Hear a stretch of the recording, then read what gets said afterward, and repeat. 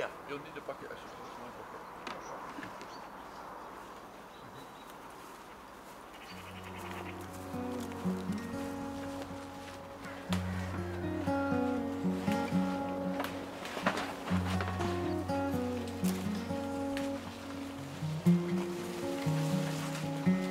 Okay, so we, we're looking to get that would be the least big one that we get. So changing colour a bit, and, yeah. Or if they're swelling a bit. Sometimes even small ones if they're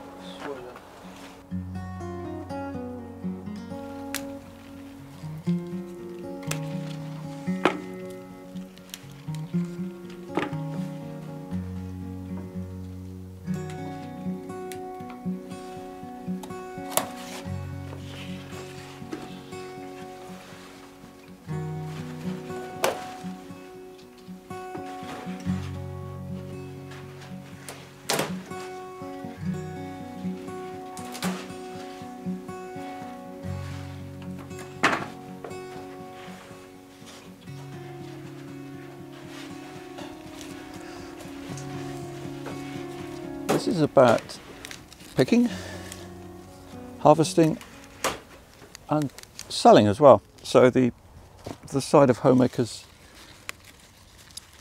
you haven't seen a lot of, which is actually how I sell some of the produce we grow.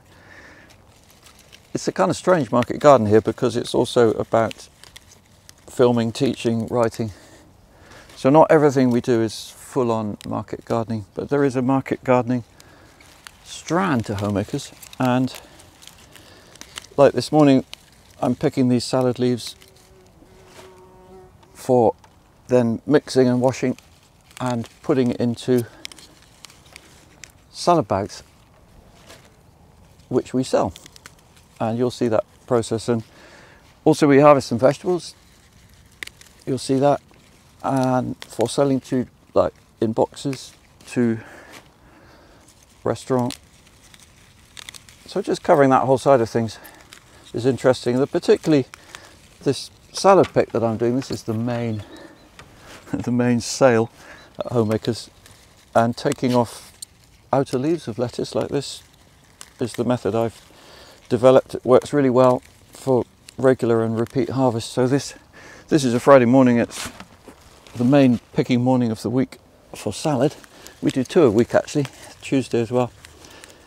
Now this is the biggest one for the weekend, and yeah, enjoy having a look.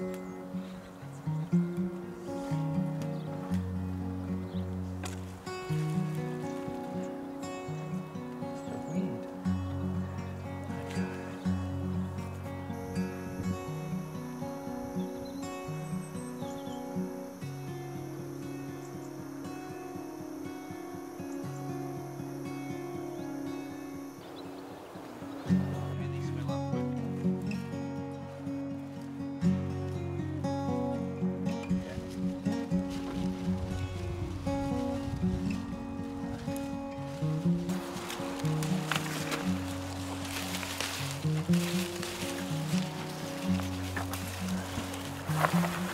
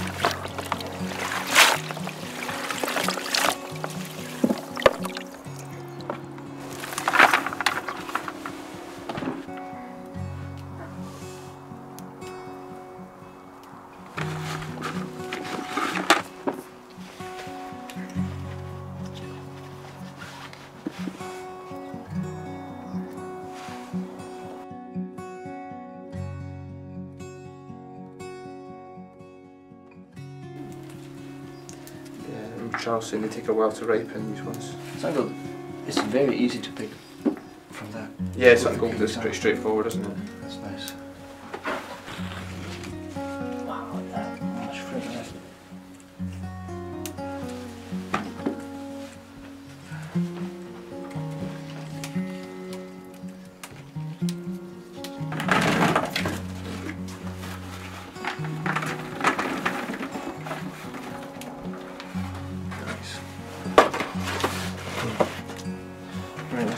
Next.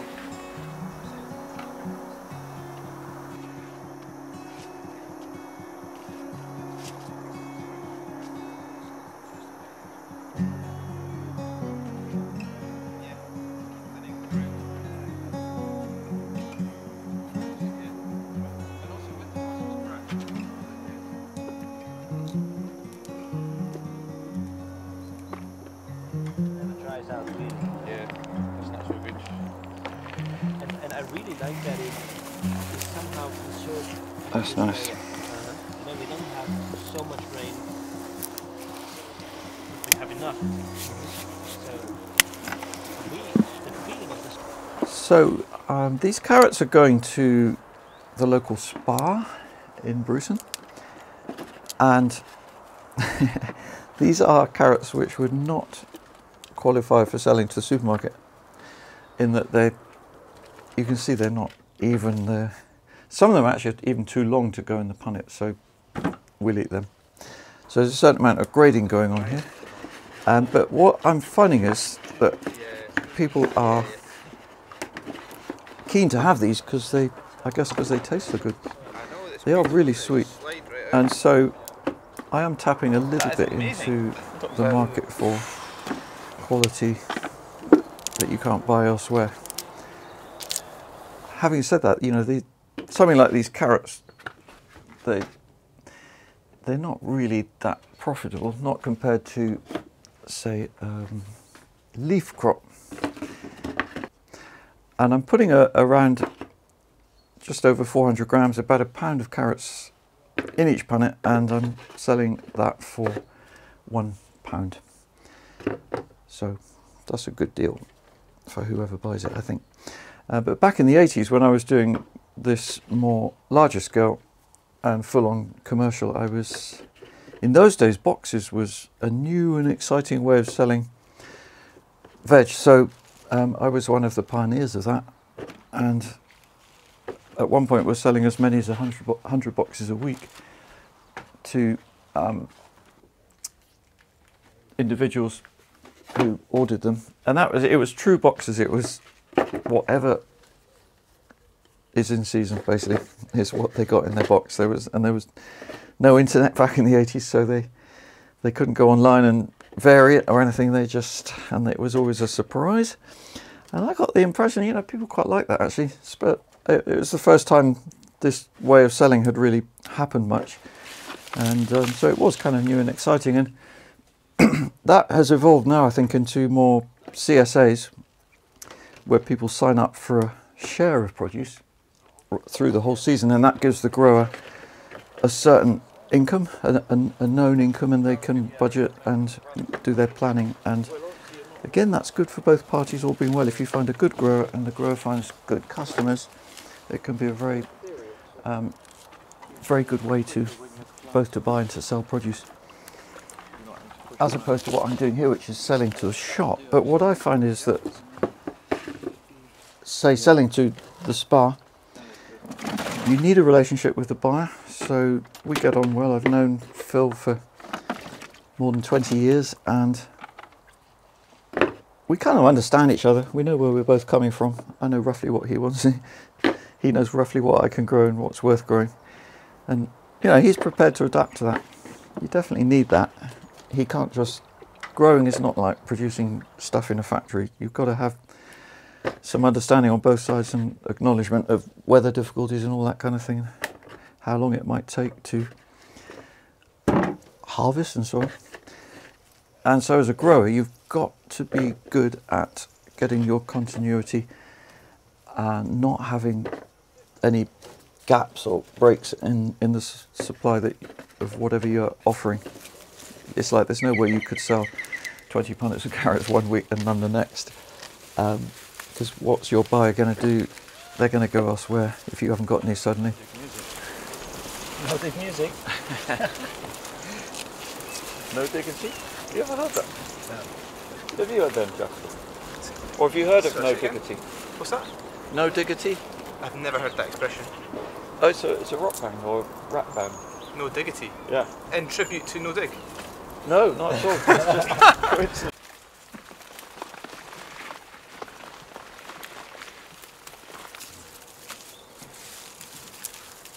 I don't know how to, how to explain in English, but I have the feeling, for example, in Austria or Germany, we have a few of them working with workhorses. What, what? They farm Oh, with workhorses. Ah, yeah, the early March. Not December, Yeah. But yeah, there's a few. If you keep it reasonably simple, so you're not um, not growing too many different crops, there, you get birch anyway. then that makes managing it easier. I mean, like onions here, for example, at least in our climate, they always mature about now, so you know that you'll have the ground clear by August at least. Just ideas Yeah. they do things that work. And so I'm, I have a feeling they are kind of conscious of, of a little deeper meaning of all that stuff. Mhm. But on the other hand, I think This is doing it. Have you got much information from back home about like, historical weather records and where you're No, growing? Not, not really historical, but I now try this year to, to record more. You can find it on the internet though, can't Yeah. you? That kind of information. Yeah, I've got a lot of records. You could probably remember pretty well though as well, year by year. Well, yes and no. It's surprising actually. It's the same Yeah. with the weather. I've got, you know, pretty precise weather records. Yeah. And then sometimes I look at them Yeah. and compare them with how I'm remembering it and realise how fallible the memory can be. Yeah, that's a really good point.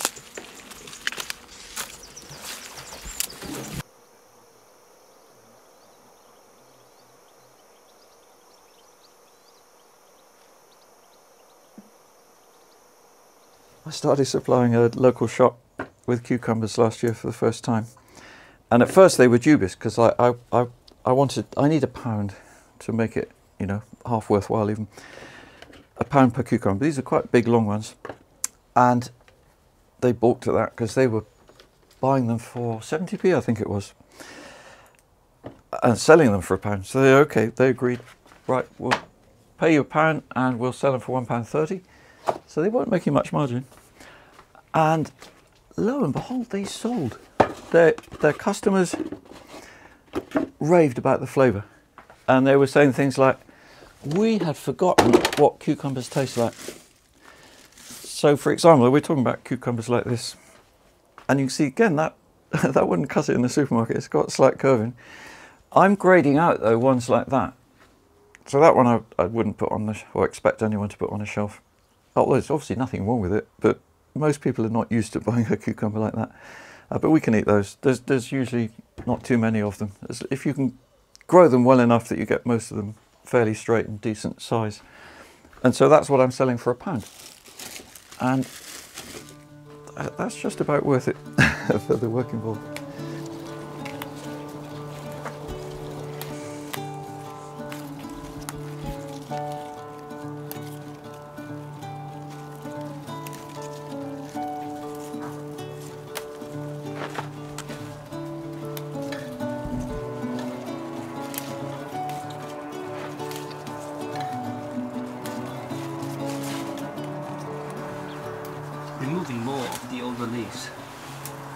Um, yeah, and I'm taking the stems down a bit as well so that then you can see more clearly the new shoots coming the next time from below. Not leave too many long stems on the top. And then um, what I'm going to do now is grade, pan it up some French beans, and what I'm doing here is mixing the green and the yellow so we've got some green ones, Cupidon. Basically, I'm growing both, and then I put a mixture in the punnet, and the feedback has been pretty positive. People like, um, seem to like that. It looks very pretty on the plate. The flavour is slightly different. Uh, it's, you know, it's kind of unique a bit. I don't think you'd buy a punnet of beans like this in a supermarket, and certainly not as fresh, I wouldn't think. And that's only going to be around 200 grams, so it's a it's a bit of a luxury product. And then I slip a rubber band over the top. So this is real minimal packaging because I think you know people in the supermarket probably look to have a plastic seal over the top of that, but I find this can work. And yeah, people do like that if you can get genuine recyclable packaging. It's just that it's possible for beans and carrots, but very difficult for something like salad leaves.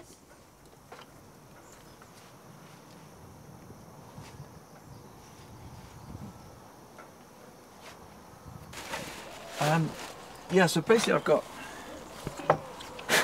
three crates here. Three piles of three crates and each pile has the same proportion of all the different things we've picked in most of this. And um, now it's just a question of mixing them.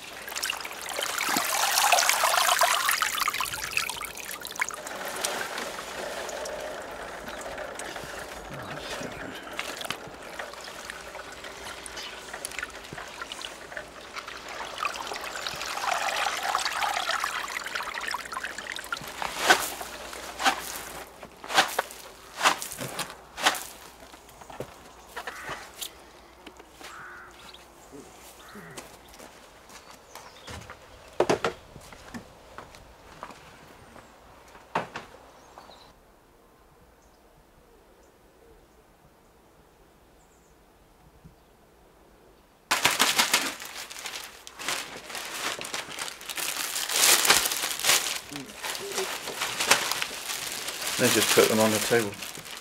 I mean, you could just go over the top. Just stay outside. Yeah.